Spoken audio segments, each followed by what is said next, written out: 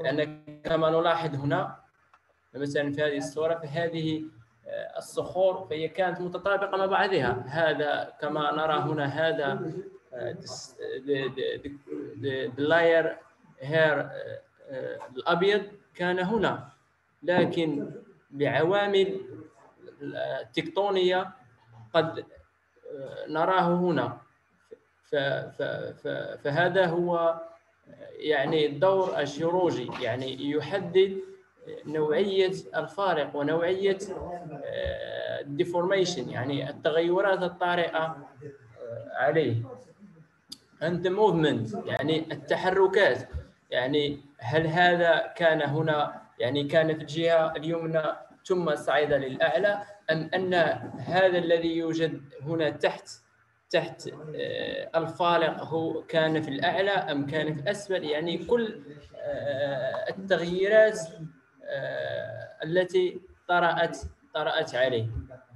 يعني دي موفمنت يعني الحركة. And the mechanisms يعني ما هي الظروف أو العوامل التي جعلت كل this is the matter يعني the liar أن يغيروا مسارهم أو أو يغير position ويعطي هذه انكسارات وهذه كما نلاحظ مثلا هنا بالنسبة بالنسبة للطيات أو إلى آخره. عامل آخر كما نراه كما المعلوم فيه على أن درجة الحرارة عند آه، آه، والضغط يزداد عندما يزداد عمق الأرض.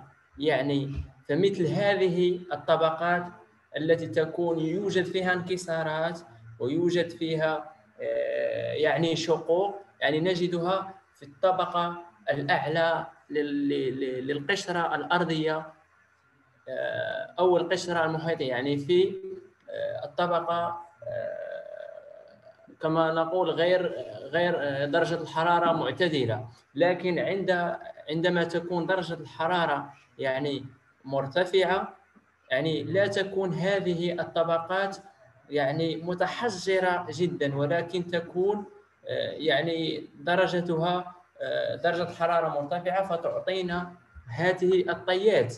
يعني تعطينا هذه الطيات كما نلاحظ كما نلاحظ هنا. لابد لك عندما ترى آه، مثل هذه آه، يعني هذه الأشكال يجب آه، أن تعطي أن تعطي نتائج حول مثلا كيف تكونت وظروفها ظروف درجة الحرارة وظروف الضغط وكذا إلى آخره. يعني كما so قلنا لا تكتونيك هي تدرس ستركشر يعني آه، ماذا يحدث فيها؟ يعني هذوك لاير ماذا حدثت لهم يعني ستركشر كما نرى مثلا هنا نلاحظ هنا وجود فارق آه، التي أحدث تغير لهذه الطبقات لاير. كما نرى مثلا هذه الطبقة البنية الموجودة هنا هذه الموجودة هنا يعني كانت بالأحرى كانت توجد هنا. لكن لظروف تكتونية يعني لظروف الضغط.